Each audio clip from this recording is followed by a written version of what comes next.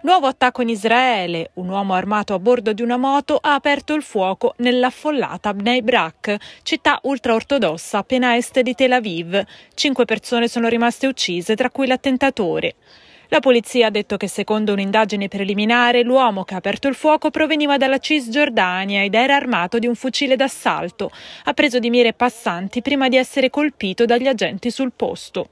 L'attentato è avvenuto solo due giorni dopo una sparatoria nella città di Adera che ha provocato la morte di due poliziotti e una settimana dopo un accoltellamento nella città meridionale di Beersheba in cui sono state uccise quattro persone. In una settimana quindi il bilancio è di un 11 morti.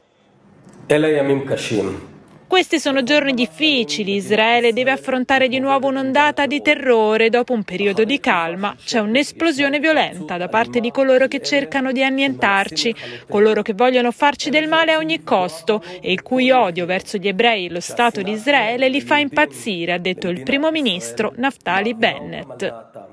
Una condanna è arrivata anche dal presidente palestinese Abu Mazen, che all'agenzia di stampa palestinese Wafa ha dichiarato l'uccisione di civili palestinesi e israeliani può solo deteriorare ulteriormente la situazione, specialmente alla vigilia del santo mese del Ramadan e delle festività ebraiche e cristiane.